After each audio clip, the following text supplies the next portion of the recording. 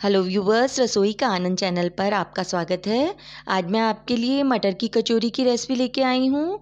अभी सीज़न के मटर आए हुए हैं तो आप इसे ज़रूर बनाइए और ये खाने में बहुत टेस्टी बनती हैं।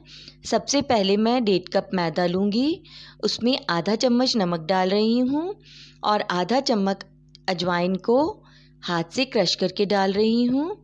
इसे हम मिक्स कर लेंगे मैदे में अच्छी तरह से। व्यूवर्स अगर मेरी रेसिपीज़ आपको अच्छी लगती हैं तो प्लीज़ लाइक शेयर और सब्सक्राइब करिए। अब इसके अंदर मैं वन फोर्थ कप ऑयल डाल रही हूँ मोइन के लिए। ड्राई इंग्रेडिएंट्स में ऑयल को अच्छी तरह से मिक्स कर लेंगे। और जैसे ही ये इसके अंदर इस तरह से जुड़ने लगे तो इसका मतलब है कि हमारा मोइन एकदम परफेक्ट है। अच्छी तरह से मोइन को मैदे में मिक्स करने के बाद हल्के कुनकुने पानी से थोड़ा थोड़ा पानी डालकर हमें डॉ लगाना है।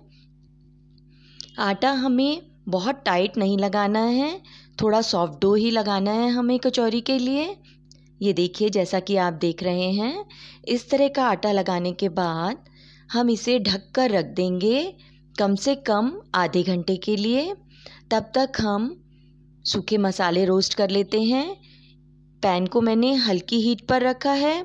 इसमें एक चम्मच जीरा डाला है, एक चम्मच सौंफ और एक चम्मच साबुत धनिया डाल रही हूँ मैं। इसे बिल्कुल हल्की आँच पर, दो मिनट में बहुत हल्की आँच पर इसे भूनना है तो इसके अंदर से बहुत अच्छी खुशबू आने लग जाएगी। जैसे ही ये थोड़ा ठंडा होगा, इसको मिक्सी के जार में डालकर पीस लेंगे। इसका हमें बहुत बारीक पाउडर नहीं बनाना है।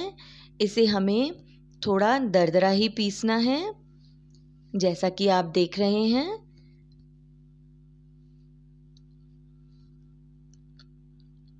अब मैं दो कप मटर लूँगी, इसे मैंने अच्छी तरह से धो लिया है और फ़ूड प्रोसेसर में डालकर मैं इसको बारीक चॉप कर रही हूँ। ये देखिए, हमें इस तरह का दरदरा ही चाहिए मटर। मिक्सी में डाल के हमें पीसना नहीं है, हमें इसकी पेस्ट नहीं चाहिए।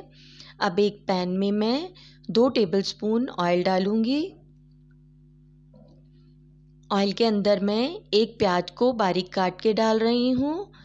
कप के हिसाब से ये आधा कप प्याज है। हल्की फ्लेम पर मैं इसे हल्का सा कलर चेंज होने तक इसको भून लूँगी।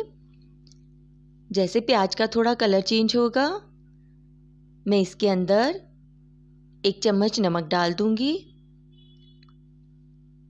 नमक डालने से प्याज अपना पानी रिलीज़ करेगा और उससे ये भुन भी जाएगा और इसके पानी को हम अच्छी तरह से ड्राई कर देंगे।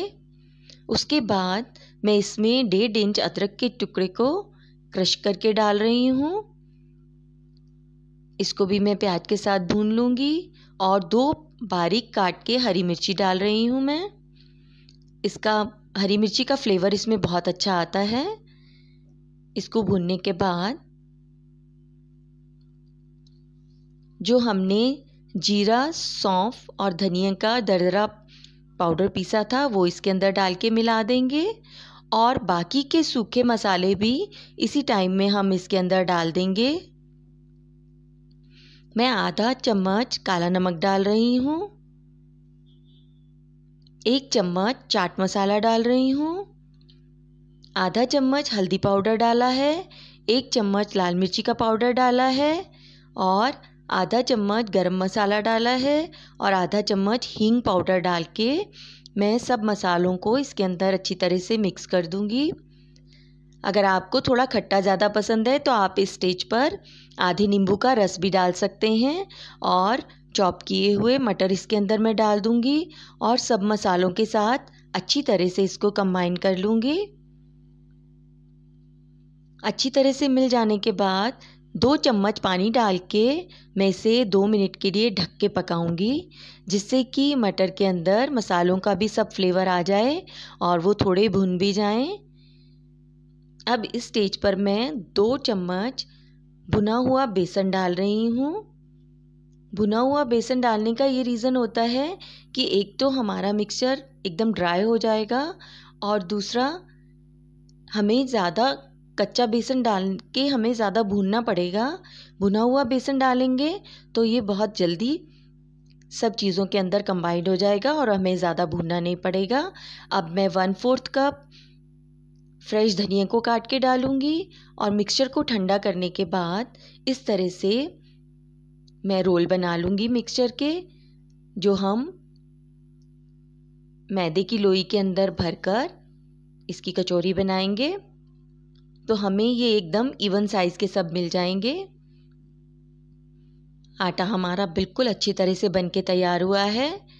इसकी हम रोटी की जितनी जितनी लोई लेते हैं, उस साइज़ की मैं लोई ले रही हूँ और किनारों से इस तरह से इसको पतला कर लेना है और बीच से मोटा ही रहने देना है।